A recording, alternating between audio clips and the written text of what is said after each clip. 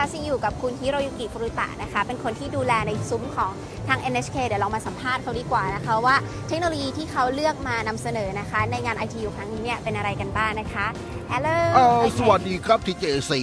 อ่ NHK ของเรานะครับก็เป็นเสมือนฟรีทีวีทั่วไปก็เหมือนกับบ้านคุณนั่นแหละครับเรียกได้ว่าเป็นฟรีทีวีเพียงช่องเดียวในประเทศญี่ปุ่นเลยก็ว่าได้นะครับ เพราะว่าสถานีอื่นๆ ภายในประเทศญี่ปุ่นก็จะเป็นของเอกชนสัส่วนใหญ่ นอกจากนี้นะฮะทาง NHK ของเราก็ยังมีรายการวิทยุถึง 3 สถานีด้วยกันนะครับอ่านะฮะก็ประมาณนี้ครับฮะเอ่ออ่าแล้ววันนี้นะครับเราก็ได้นำอ,อุปกรณ์ตัวใหม่มาเสนอนะครับ ซึ่งมันเป็นอ่า ISDBT ซึ่งเรียกได้ว่าเป็นเครื่องกระจายสัญญาณโทรทัศน์ในแบบชุมชน มันสามารถส่งสัญญาณไปยังโทรศัพท์มือถือ แล้วก็เครื่องรับทั่วไป ความคมชัดของมันเนี่ยเทียบเท่ากับ HDTV เลยครับ หรือเทียบเท่ากับความต้องการของมือถือทั่วไป ซึ่งเป็นที่นิยมอย่างมากในประเทศญี่ปุ่นในตอนนี้ เพราะว่าทางญี่ปุ่นของเรานั้นก็ได้มีการพัฒนาเรื่องทีวีบนมือถือมานานแล้วนะครับมผมนึกกันนะออตอนนี้เนี่ย ทีวีทีวีบนมือถือเนี่ยนะในประเทศญี่ปุ่นเนี่ยมันก็ถือว่าเป็น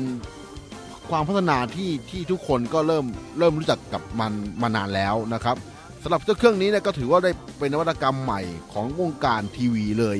ก็ว่าได้นะครับ ผมก็มีความยินดีที่จะเสนอให้รู้จักกันนะครับ เจ้าตัวเนี้ยเพียงแค่คุณมี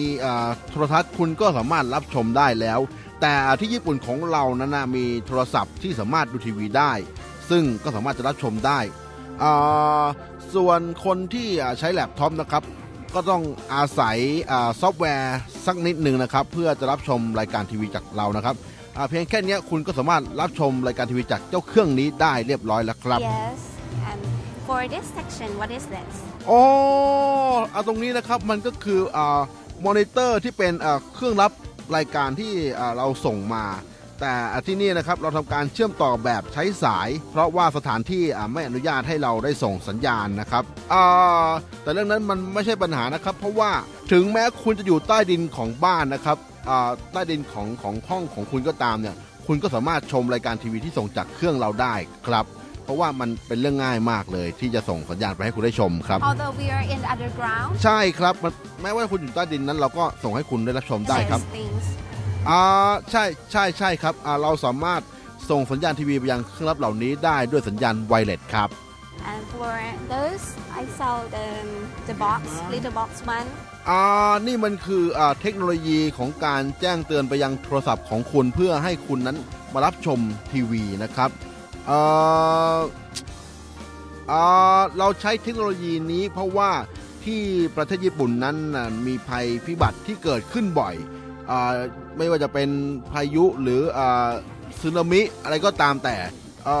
ซึ่งคนส่วนใหญ่ในญี่ปุ่นเนี่ยจะรู้ข่าวข่าวพวกนี้จากทีวีซะส่วนใหญ่ ดังนั้นเนี่ยเมื่อคุณปิดทีวี คุณก็จะพลาดการรับข่าวสารจากทีวี เราเลยมีเครื่องนี้ขึ้นมา เหมือนเป็นการคอยเตือนให้คุณไม่พลาดเหตุการณ์ต่างๆนะครับง่ายๆนะครับเมื่อเกิดเหตุไม่คาดคิดขึ้นเนี่ยไฟแดงๆจะขึ้นตรงนี้แล้วการแพร่ภาพก็จะเข้ามายังมือถือของคุณนะครับ แล้วคุณก็จะได้รับชมรายการทีวีที่ส่งมา แล้วก็จะได้รับรู้ว่าขณะนี้เนี่ยเกิดเหตุการณ์อะไรขึ้น โดยจะเป็นการบอกข่าวสารและข้อมูลต่างๆ ให้ให้คุณได้ได้ได้รู้ทันทีว่ามันมีเหตุการณ์อะไรเกิดขึ้นณ ตอนนั้นนะครับ okay thank you very much for โอเคครับ ไม่เป็นไรครับ the information